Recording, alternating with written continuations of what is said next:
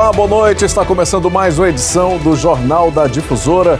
Vamos então aos destaques de hoje. Ações de prevenção à doença conhecida como vaca louca são iniciadas no Maranhão após confirmação de caso no Pará. Corpos de vítimas de Rosário que morreram nos temporais do litoral paulista devem chegar ao Maranhão neste sábado. Coletiva de imprensa do lançamento da campanha da Fraternidade 2023 é realizada na capital. E ainda os destaques da Copa do Nordeste. É a partir de agora no Jornal da Difusora.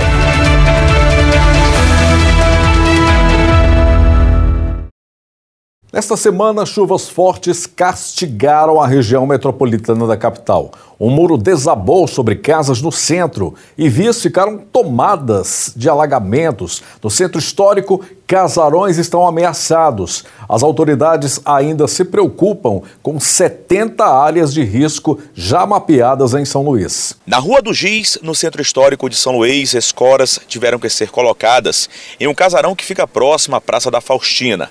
As paredes estão perdendo a pintura e o mato toma conta de boa parte do imóvel. Nas proximidades da Fonte das Pedras, na região do Mercado Central, casas também perderam parte do telhado por conta das fortes chuvas que têm atingido São Luís. Em um outro ponto do centro histórico de São Luís, flagramos um casarão que está à venda. O estado de conservação também não é dos melhores. Mas queremos dizer que a Defesa Civil do município, junto com todas as secretarias parceiras, estamos empenhados em, principalmente, preservar as vidas do cidadão ludovicense. Segundo o relatório mais recente divulgado pela Defesa Civil Estadual, há pelo menos 70 áreas de risco somente na grande ilha de São Luís, que compreende, além da capital maranhense, os municípios também de São Jardim Ribamar, Pasto Lumiar e Raposa. O Instituto Nacional de Meteorologia emitiu alerta laranja de chuvas intensas para o Maranhão, com validade até às 10 horas desta sexta-feira. Foi decretada situação de emergência em toda a grande ilha de São Luís e os raios passam a ser um problema mais, mais é, iminente. Né? Lembrando que ano passado nós tivemos já problemas com raios, mas numa época, uma época que está fora do que normalmente acontece. Não, mas, é, os raios geralmente acontecem período, é, no período chuvoso mesmo, que é a época correta de acontecer, né? e agora nós já, inclusive, tivemos casos né, de, de incidência de raios e a época certa para ocorrer. A Agência Estadual de Defesa Agropecuária executa ações de programa de prevenção e vigilância para a doença popularmente conhecida como o mal da vaca louca que ataca o sistema nervoso dos bovinos. Este ano, um caso foi registrado no estado do Pará. O caso foi registrado no estado do Pará na última terça-feira. Tudo leva a crer que se trata da doença conhecida popularmente como mal da vaca louca, mas a forma atípica, que é menos grave e não é transmissível. Como se fosse uma espécie de câncer que acometeu esse bovino, um bovino já idoso e que não se alimentava de ração certo? E os protocolos sanitários foram todos cumpridos, com a notificação da Depará, a confirmação do caso do mal da vaca louca, e agora foi encaminhado para o Canadá para uma análise mais profunda, para que, confirmado que trata-se de um caso atípico, seja comunicado à comunidade nacional e internacional para que o Brasil possa voltar com as suas importações com tranquilidade. A doença cientificamente é denominada como encefalopatia espongiforme bovina. Os sintomas variam, mas também são bem específicos, como ressalta esta médica veterinária.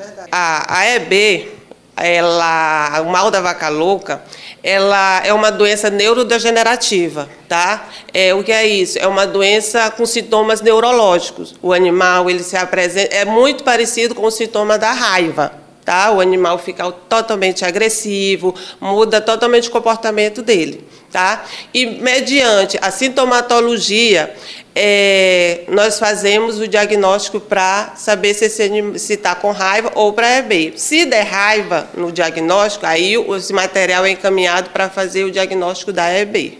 As amostras coletadas já foram encaminhadas para o Canadá é de lá que virá a confirmação ou não da doença. Esse caso vai ser tratado pela Organização Mundial de Saúde Animal, que vai constatar que trata-se de um caso atípico e vai comunicar ao mundo inteiro sobre a situação.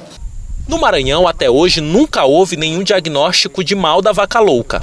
Para garantir a segurança e saúde do rebanho no estado, a AGED tem realizado constantemente fiscalizações, focando também no trabalho de conscientização junto aos criadores. As ações da AGED para impedir que essa doença adentre o Estado, é, nós fazemos a fiscalização das propriedades de risco pré-EB. Existe seis fatores, que no caso essas propriedades, elas são classificadas, sim ou não, como de risco para EB, e nós trabalhamos em cima da alimentação daqueles animais, para que, fazendo uma fiscalização, se existe algum suspeito de subproduto de origem animal, por exemplo, uma cama de frango, que é altamente visível no coxo do animal, já é um, um indicativo que tem produto lá é proibido para aquele animal. Então, já nós nós fazemos tanto a nível de propriedade, de risco para EB e nos matadouros também. Muito bem, hoje a gente recebe aqui no estúdio da Difusora o Ellison Silva, que é representante da Smart Imobiliária e traz, olha, uma excelente oportunidade para quem quer adquirir um imóvel novo, Ellison. Boa noite, Junho, tudo Boa bem? Noite. Boa noite você que está em casa. E é isso mesmo, pessoal. Hoje eu vim falar do Ilha de Havana uma das melhores localizações hoje em São Luís, que fica ali na Coama. Quem sabe a Coama é uma localização central, próximo de todo supermercado, posto de gasolina, posto de saúde, entre outros entretenimentos que tem ali próximo. Possibilitando também para você que quer não só realizar o sonho, mas fazer um grande investimento. Hoje os empreendimentos da, da MRV, Junho, eles estão vindo com alta rentabilidade. O que, que é isso? Sim. A pessoa compra pelo um preço inicial, quando for repassar para fazer algum tipo de negociação, né, que principalmente os investidores gostam muito disso. Já está bem né, valorizado. Já está bem valorizado. E para quem quer morar também, que pretende ter essa mudança de mente também é excelente. E, além do mais, as condições desse empreendimento são condições imperdíveis, tá? Entrada facilitada, você consegue comprar aí com renda comprovada. É, renda formal, no caso carteira assinada ou não, tá? Você consegue estar tá adquirindo esse empreendimento com movimentação bancária e, lógico, com o CPF tudo ok. E a localização é maravilhosa. Como é que faz para te encontrar, para quem quiser já entrar em contato para adquirir o Ilha de Havana? Certo. Para você, vai estar tá mostrando o número bem aí embaixo. Né? Você pode estar tá me chamando nesse contato do WhatsApp, que aí eu vou estar tá lhe enviando o book, tirando todas as suas dúvidas e apresentando esse maravilhoso empreendimento que eu tenho certeza que você vai gostar demais. Vai mudar a sua vida. Obrigado, Elson, pela Valeu, presença tamo aqui. Junto. Boa noite. Um abraço. É isso, gente. Imobiliária aí fazendo a sua festa Smart, né? Olha, é, eu vou a um rápido intervalo comercial e daqui a pouquinho a gente volta ao vivo falando sobre as buscas pelos três maranhenses desaparecidos após o deslizamento de terra no litoral norte de São Paulo. Tá sem plano de saúde ou não aguenta mais pagar planos caríssimos? Não quer depender do SUS? Eu tenho um recado importante para você. Você vai amar conhecer a Dr. Home BR, um precinho que cabe no seu bolso de verdade. É um sistema inovador que vai resolver os seus problemas, somando medicina com tecnologia, consultas ilimitadas, uma equipe preparada de médicos e ambulâncias para atender você em situação de urgência e emergência. Fale com o médico sempre que precisar. Ainda tem um clube de desconto exclusivo que pode chegar até até 80% em hospitais, em medicamentos e muito mais. Quer saber um pouco mais? Acesse através do seu smartphone esse QR Code aqui com a câmera do seu celular que você vai conhecer a Dr. Home BR. Não esqueça de trazer toda a sua família junto e falar dessa novidade para os seus idosos, hein? Eles vão amar conhecer a Dr. Home BR. E os corpos das vítimas de Rosário que morreram no temporal do litoral paulista devem chegar ao Maranhão neste sábado. Foi liberado também o corpo da Joina, de 15 anos. E os familiares já acabaram de me informar que está previsto a chegada dos dois corpos no Aeroporto Internacional de São Luís na madrugada deste sábado, por volta das 3 horas da manhã. Esta é a programação. 3 da manhã, os corpos chegam aqui em São Luís do Maranhão, no aeroporto. Detalhe: chega e vai direto para o cemitério. A orientação também é que não haja nenhum tipo de homenagem ou velório. Três membros da família também continuam desaparecidos nesta tragédia lá de São Sebastião. No caso, o Jonathan Rocha Souza, de 32 anos, que é o pai da Júnior também do garoto Felipe, e a mãe também, que é a Sueli Cristina, de 34 anos, como também da criança de apenas um ano e seis meses, no caso, o Jonathan Gabriel Pereira. Continuam desaparecidos.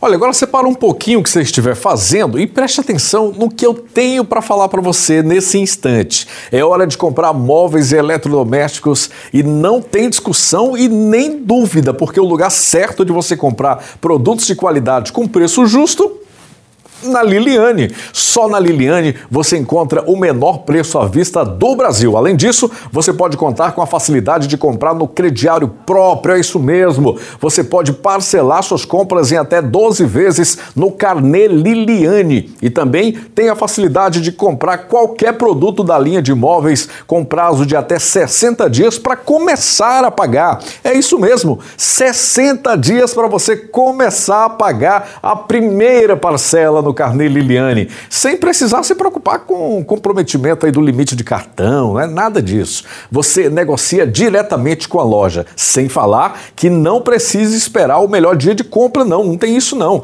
Com o carnê Liliane, todo dia é o melhor dia para comprar. E aí, você está esperando o quê? Corre logo para a Liliane mais próxima de você e aproveite. Liliane faz parte da sua vida. Vamos aos destaques da Copa do Nordeste. Copa do Nordeste. Oferecimento. Quer valer? Faz um Sporting Bet aí. PagBank. Peça já o seu cartão de crédito grátis.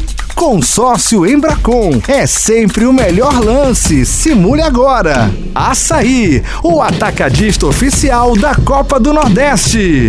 Chevrolet, patrocinador oficial da Copa do Nordeste no SBT.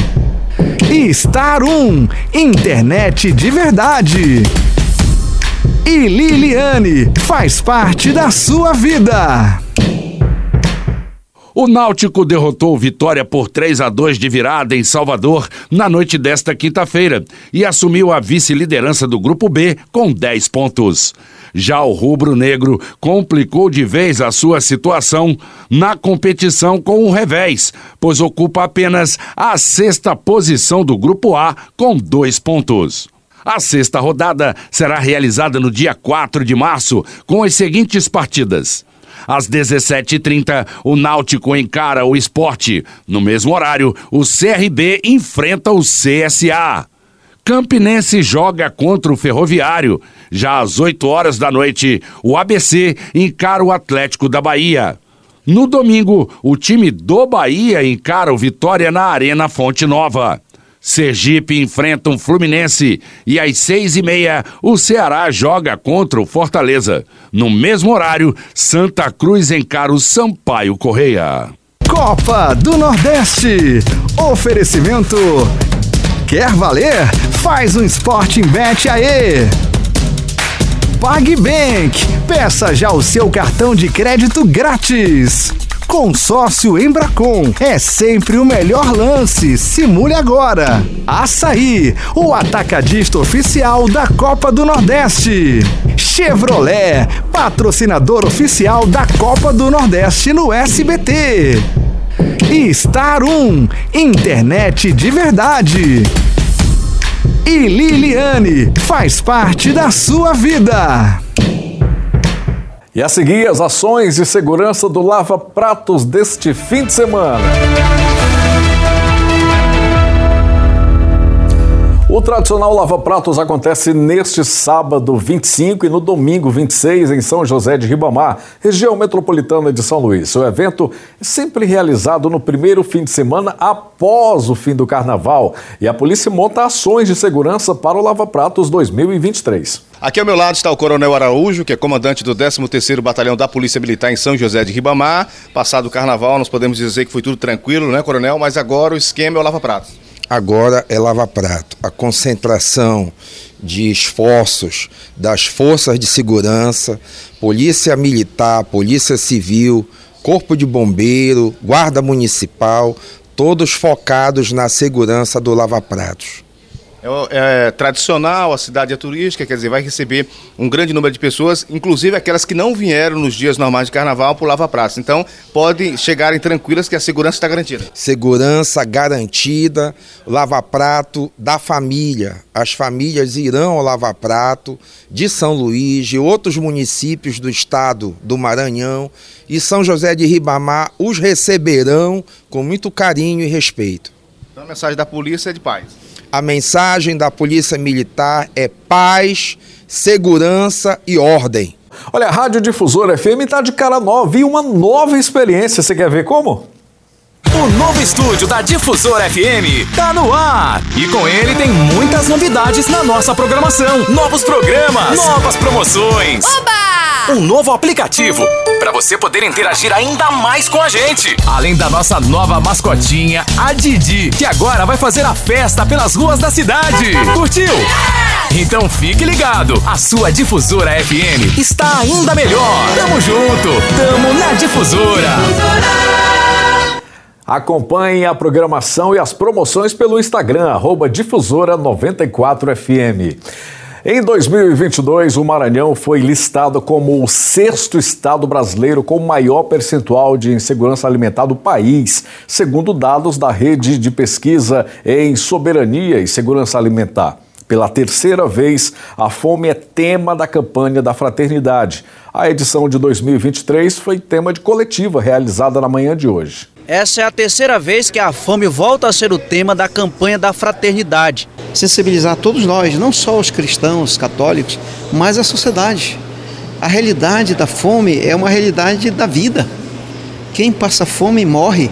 Quando a gente fala dessa temática, parece que a gente está falando de uma realidade que é distante da gente, que é uma realidade macro, mas a gente quer chegar a partir das oficinas da campanha da fraternidade na realidade local, naquelas pessoas que estão passando fome, que às vezes estão caminhando com a gente, que estão lá nos grupos da igreja, que estão participando das pastorais. Nesta sexta-feira, durante uma coletiva de imprensa, a Arquidiocese de São Luís anunciou que no próximo dia 25 de fevereiro acontecerá a abertura da campanha da Fraternidade 2023 no Maranhão. Um momento muito especial porque nós pensamos em acolher membros de todas as paróquias da nossa arquidiocese. Nós temos atualmente 57 paróquias, tanto da parte da ilha como do continente, mas também esperamos aí uma participação significativa de leigos, eh, homens e mulheres comprometidos com o projeto de Jesus. O evento terá a participação de 57 paróquias, movimentos pastorais, comunidades de municípios do interior do estado, institutos católicos, autoridades civis, movimentos movimentos sociais de combate à fome e fiéis. Todos né, são convidados, de modo particular, evidentemente os católicos, né, mas todos os homens de boa vontade, as mulheres de boa vontade, são convidados a participar desse momento celebrativo que é a abertura da campanha da fraternidade, fraternidade e fome, dá-lhes vós mesmo de comer. O Jornal da Difusora termina aqui. Muito obrigado pela sua companhia, pela sua audiência. Uma boa noite. A gente encerra com imagens da Avenida Litorânea em São Luís.